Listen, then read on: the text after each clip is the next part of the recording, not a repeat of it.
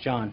Uh, A couple of un- unrelated topics. First of all, Georgia 6th Congressional District. The fact that uh, Jon Ossoff voted five or six points more than most Republicans thought that he would have. And Lindsey Graham saying this is a wake-up call to the Republican Party that there's a lot of moderates beginning to emerge in the South to a greater degree that the Republican Party needs to pay attention to. I don't imagine that the outcome of the runoff is in that much question, but does Senator Graham have something there that the Republican Party needs to pay attention to changing demographics, particularly in the South?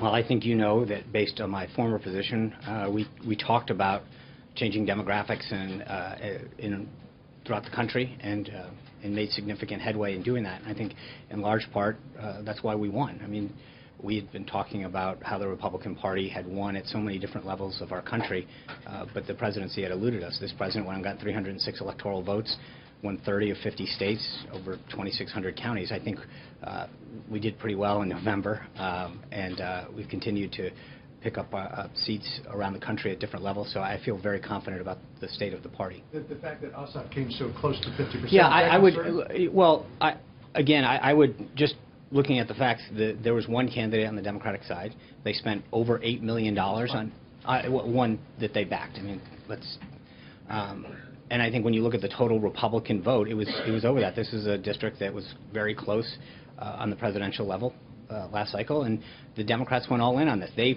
they were clear going into this election. They said that they their goal was to get over 50 percent. They came up short. I mean, so at the and if you look at the what his percentage of what it was presidentially, it, it pretty much tracks. He, um, I think this was a big loss for them. Uh, the bottom line is they went all in on it. They said that they their goal was to get over 50 percent. They came up short.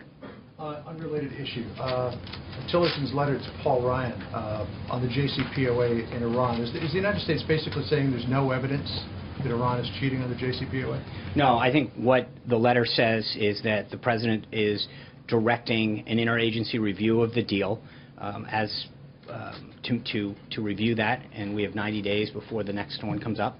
Uh, We'll have more, but right now, we're undergoing a, a 90-day review, and I think the, the statement that the Secretary of State made to Congress very clearly stated that, um, that the President is directing the National Security Council to lead an interagency review of the plan and evaluate whether sus- suspension sanctions related to Iran pursuant to the JCPOA uh, are in the vital interests of the national security of our national security. That's the letter clearly lays out what the, the president's going to do um, to make sure that they're living up to their agreement. Is the president concerned that Iran may be cheating on the JCPOA? Well, again, David Albright, the noted UN weapons inspector, says they're developing a new centrifuge which he thinks could be a violation of Well, the and I think that's why he's asking for this review. I, I think that there's if if he didn't, if he thought they were, they everything was fine, he would have you know allowed this to move forward. I think he's doing the prudent thing by asking um, for a review of, of, of the current deal and what's happening.